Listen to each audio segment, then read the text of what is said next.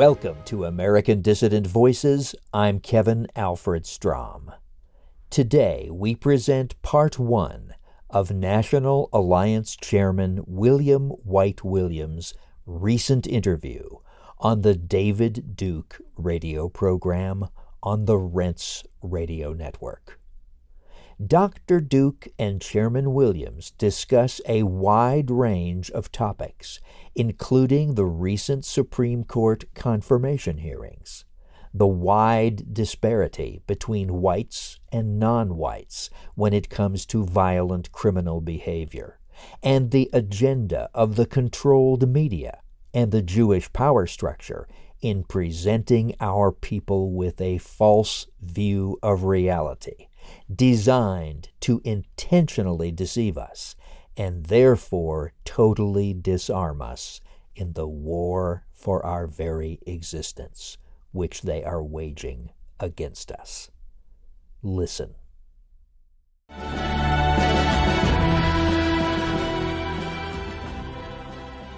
Ladies and gentlemen, friends, and open minded people wherever you live across the United States of America, Europe, and the world. This is David Duke. And it's a very good day today. We're going to be talking with our good friend Will Williams, and he's of the National Alliance, and he's been around for a long time fighting the good fight for the preservation of the human rights of European Americans and Europeans all over the world, and truly of all humanity, because the Zionist, the Jewish racists, the Jewish supremacists, the, these Jewish powerful people in banking, and media and today's social media, which really controls and manipulates the minds of the world, uh, they create wars and they exploit not just our people. They're driving our people to ethnic cleansing and destruction of our families, but they're doing the same type of thing to the world. I mean, it, it's it's amazing. So Will Williams is going to join me. In fact, I'll just go ahead and introduce him right now. Uh, welcome to the show, Mr. Williams. How are you doing? Uh, I'm doing fine, thanks, uh, David. Okay, buddy. It's it's good to have you on, and uh, you've known me for a long time. You're the only guy that gets to call me David, but I don't mind. You know, I actually, you know, I I, I kind of wish sometimes my parents would have given me a different name, more European-based name. yeah, really. Yeah, but, uh, David. Uh, but that's okay. That's okay. Uh, anyway, anyway, so um, I also believe that we always give titles to people who've earned titles because that's what they do all the time, right? It's it's Dr. Martin Luther King, right? Even though he Mm-hmm. plagiarized and didn't get his uh, true doctorate, right?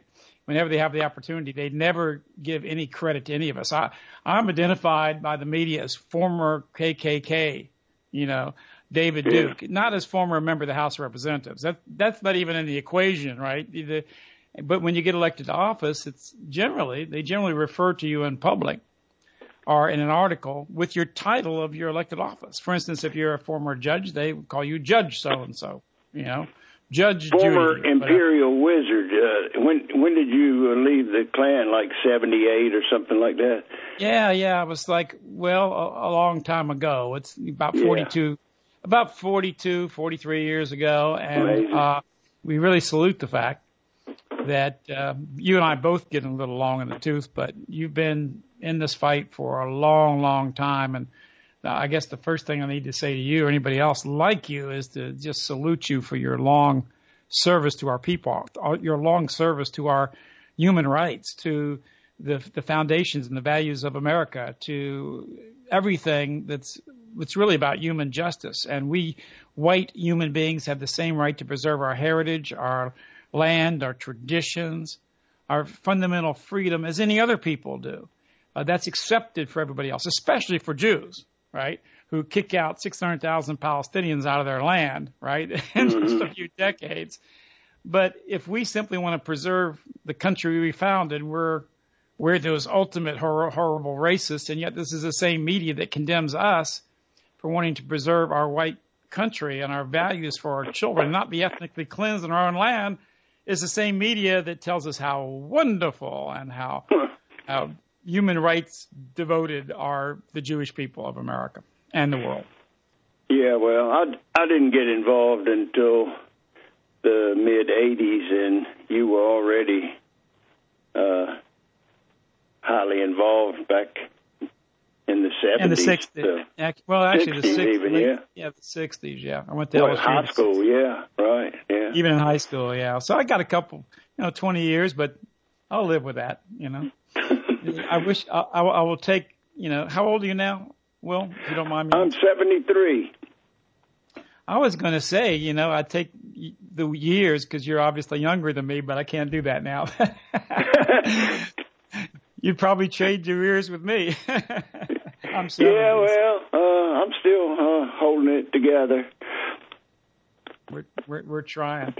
I, I, want to start off with the discussion, and I want to share some. I prepared some things for today. I didn't know you were going to be on, but I'm glad we are able to get you on today. And uh, I, I, want to, I prepared a couple of things. For one thing, I taped um, the hearing yesterday for the Supreme Court justice. And let me just start off by saying, and again, we have terrible choices in politics.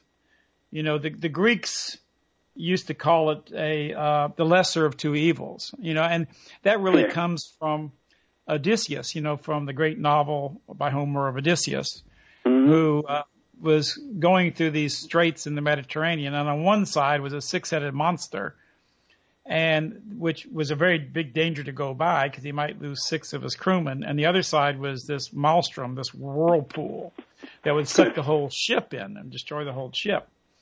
And Odysseus chose to run the ship away from the whirlpool by the monster, which snatched six of his good men, but better to lose six than the whole ship and every man.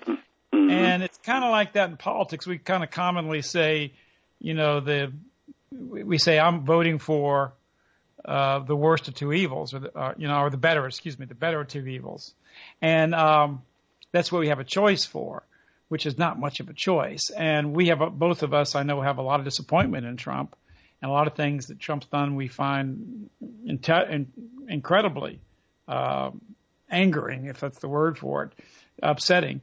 But at the same time, when you look at the radical Democrats who've already promised to criminalize us, who've already promised federal law, which would go in any state, who've already promised to mm-hmm. Completely censor us, not simply from social media, which they're already doing every day. Of course, I was permanently banned from Twitter, and I've been banned from YouTube uh, by you know Jewish Google, Google with uh, Sergey well, let Brin. Me, let me say, Dave. Uh, yeah. Unlike Donald Trump, I do not disavow David Duke. well, you know, and you know what? When he did that the first election, I said, I understand. You do whatever you think you need to do, even though I don't think you should. Interestingly enough, Forbes magazine said that when I did support him, that it was actually the turning point for him winning the Republican nomination and the election because it was a big signal to white people that this New Yorker with this New York accent and this pushy, brassy, kind of personality that we Southerners don't really like very much. Uh, that it was okay to vote for him, and I do think it was the best choice of the people. And he was saying things that nobody ever said, and still they hate him. There's no question that the Jewish establishment. I mean, they they want blood. They got blood in their eye for this guy. I mean, they they want to destroy him. I've never heard anything so vile and vicious against people in my life. You know, the Jewish uh, Republican, what they call the Republican coalition, the Jewish. Republican Jewish Coalition. Finkel Finkelstein was his actual name. Sounds like an old song from the mid 30s. but Finkelstein, who was their chief uh, pollster uh, for the for the Jewish Republican Coalition, said that the only politician that the Jewish people hate more than Donald Trump is David Duke. Yeah. Now that's that's an accolade. I'm gonna have to put that on my on my tombstone as a as a pr- proof of uh, proof of product service, right?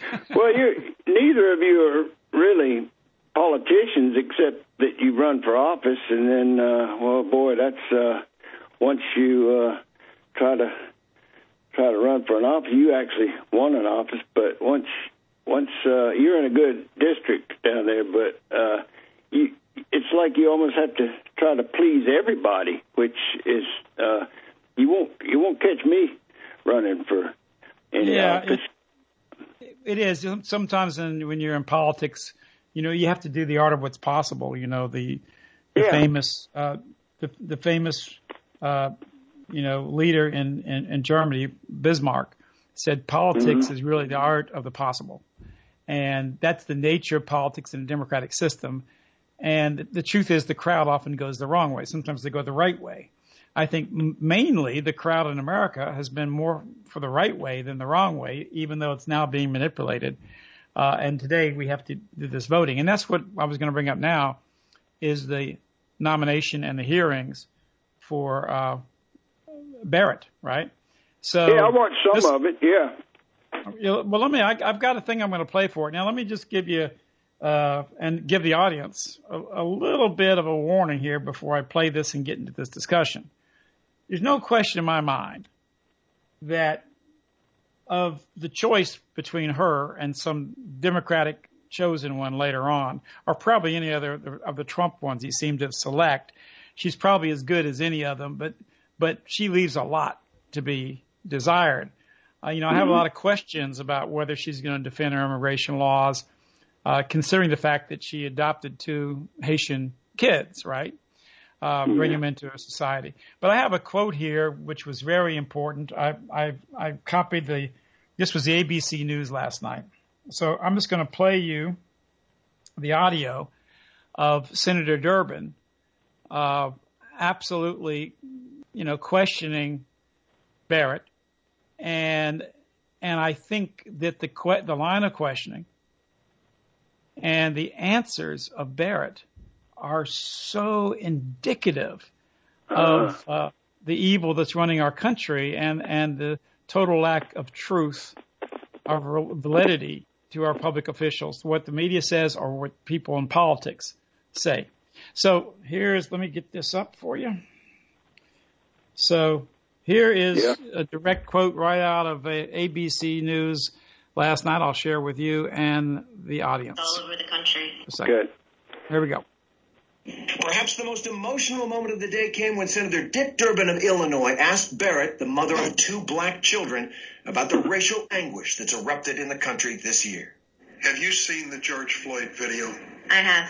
What impact did it have on you? Senator, as you might imagine, given that I have two black children, that was very, very personal for my family. I was there, and my 17 year old daughter, Vivian, who's adopted from Haiti, um, all of this was erupting. It was very difficult for her. Um, we wept together in my room. My children, to this point in their lives, have had the benefit of growing up in a cocoon where they have not yet experienced hatred or violence. Um, and for Vivian, you know, to understand that there would be a risk to her brother or the son she might have one day of that kind of brutality has been an ongoing conversation. It's a difficult one for us, like it is for Americans all over the country. Very funny. Barrett okay. was pressed today on the. Okay, so first off, and and, and again, this is amazing to think of. i have actually got a, a little thing I was working on last night to where you know the question and the answer you'd never have heard, right? Mm-hmm. Uh, but and, and and and why you don't hear it is proof of the lies of the media and, and the brainwashing that they're dousing our people in. But even if you go into the text of what she said, okay, so here's this uh, Democrat senator asking her if she watched the video of Floyd. Like a video, for instance, is going to really tell you whether a person's guilty or not. It's going to tell you or not whether there was racism behind the event, right? It's going to tell you anything, right? And uh, so, first off, let's just talk about what how she answered, and um, aspect of that, and what she should have answered. So here's what here's what the the theme of the program was. Okay, so Durbin says, "Have you seen the George Floyd video?" Right. So Barrett says, "I have." Right. And then he says, "Well, you know what what kind of impact did it have on you?" And she says, as you might imagine, given I have two black children, mm-hmm. that it was very, very personal for me. Now, she never even questioned anything about the surrounding narrative, the lies around the Floyd video. Because if, if she would have seen, she may have, any of the body cam video, she knows the guy was acting crazy. He was on drugs. In fact, the autopsy showed that he wasn't killed by any police officer. He had three times, three times the mm-hmm. amount of fentanyl and meth, right? Uh, eh, you know, serious drugs, cocaine, uh, three times that it would take to kill somebody. He was actually act, acting crazy. He, he wasn't choked to death by the police officers, as as the even the autopsy showed, and and the the coroner showed. In fact, in the police car, when there was nobody on him, he was saying, "I can't breathe, I can't breathe" for an hour. So obviously, they didn't think it was can't breathe. So, so, and the narrative of this that he was killed because he was a black person. I mean, you can't go. You know, what judge would go by one, uh, one video of something, in terms of making a judgment, a legal judgment? For instance, if if she was a judge in a case, let's just say she was a judge in a case, what kind mm-hmm. of judge would do that? I mean, you you wouldn't. You would you wouldn't want to get all the facts. And there was never any evidence at all in this whole thing that anything was driven by racism. And the truth is, far more white people are killed by police than black people are killed by police. That's absolute fact. The fact is, in this country, that there are 10 times, 20 times almost, depending on the cases. And in terms of probability, it's a hundred times, and I can I can quote data on that, that white people will be violently uh, brutalized, mm-hmm. assaulted, raped, murdered, harmed, injured by blacks than blacks are assaulted by white. The probability is literally a hundred times greater that an unknown black person would brutalize an unknown white person and back, you know, back and forth. Mm-hmm. So she didn't say that. She could have said, well, Senator, first off, you know, I would never make a legal judgment off of a video. I would want to know all the facts, right? Uh, this, this is presented as a narrative of racism, but there's no evidence this this cop, who by the way is married to a non-white person, uh, that that motivated. Not, there's no not only that, David, but a couple of those other cops that were on the scene were non-white, yeah. and sure Floyd has a a long felonious record. He's an ex-con, been to prison a couple of times Right. He did a home invasion and spent five years in prison. I mean, there you talk about uh, background. Uh, now, uh, Durbin, I noticed him a couple of days ago. He's he's a Democrat senator, but he's uh, from Illinois, and he actually pointed out that this year there have been 3,200 murders in Chicago, and he even said that they were mostly gangbangers, and this was on the gun question. That, and he was whining about uh, how these uh, black gangbangers could go to Indiana or Mississippi and pick up guns and bring them back to Chicago. Well, our our problem's not guns; it's uh, Negroes with guns, and but he couldn't come out with that. But he his statistics revealed it. 3,200 murders in Chicago, and the year's not even over.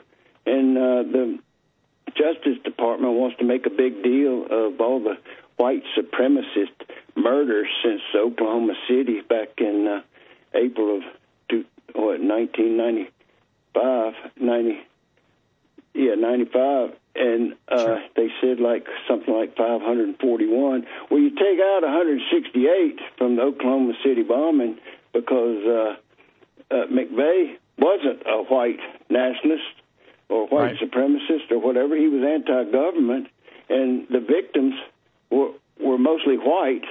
So then you get down to 300. Well, that's 25 years of so-called white m- murders, and how many is that per day uh, uh, against 3,200 in Chicago this year. I mean, the, the statistics. Right. The, st- the statistics don't lie, but liars like to use statistics. I'm sure you've yeah. heard that. And uh, oh, I'll give you yeah. I'll give you one example about human suffering and on a racial basis.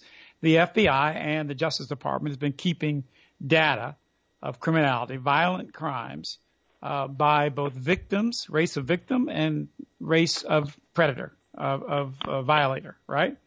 And they've been mm-hmm. doing this for years. It's not easy to find, but you can go to the study. I just got this out of the you know, out of the their their their crime site the other day. Anybody can check it out and and verify it, right?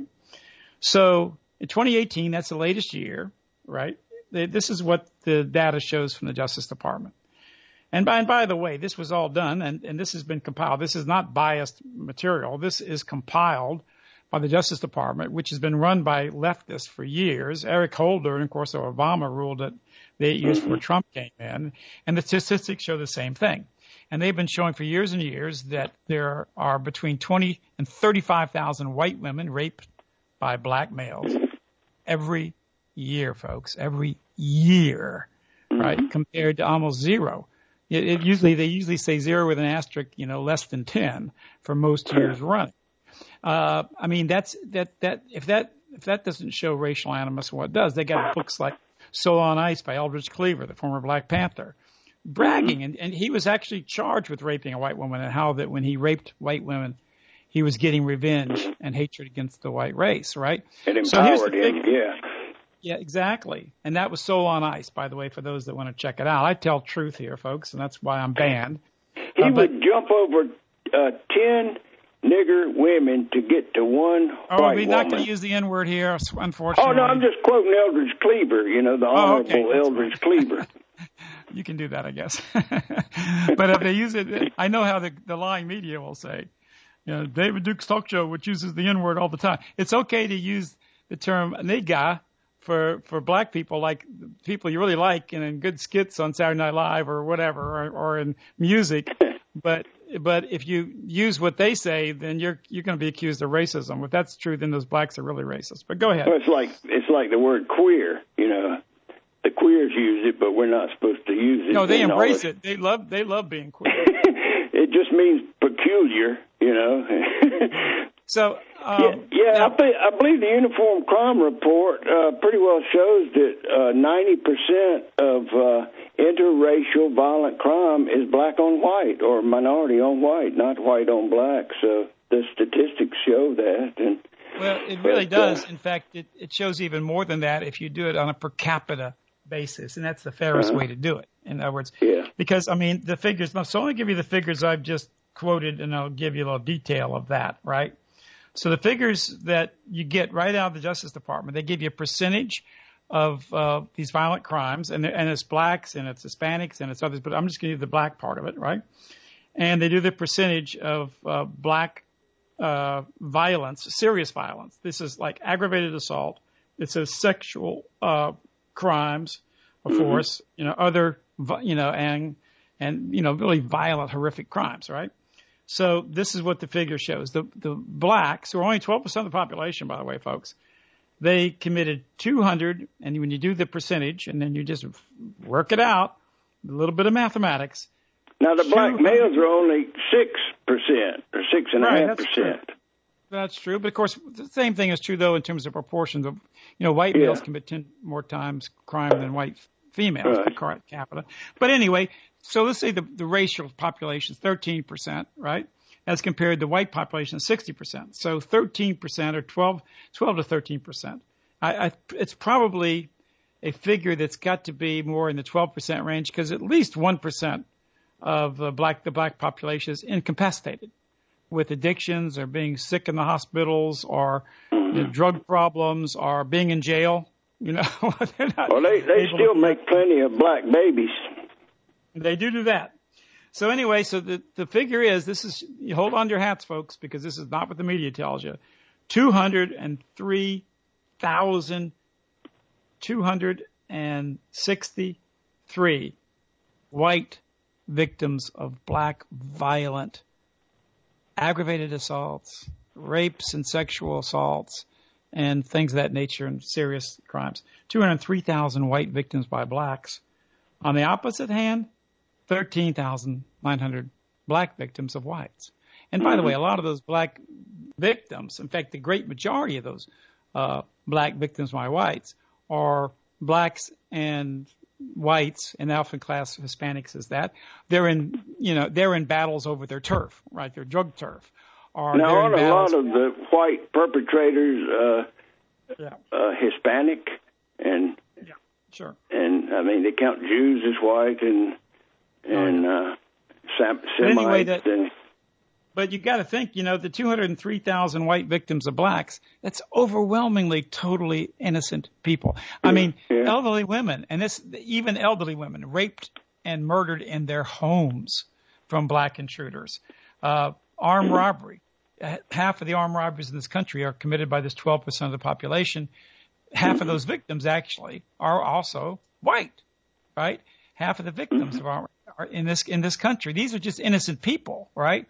uh, women who are raped in their homes. These are these are innocents, right? And and then if you so if you look at you know 20, 203,000 black you know attacks, violent attacks against whites, and only thirteen thousand nine hundred against blacks by whites, and then you take it the sixty percent of the population is mm-hmm. white, right, and twelve percent of the population is black. So we got twelve percent doing two hundred and three thousand violent crimes against white people. And you got 60% doing only 13,000 crimes against black people.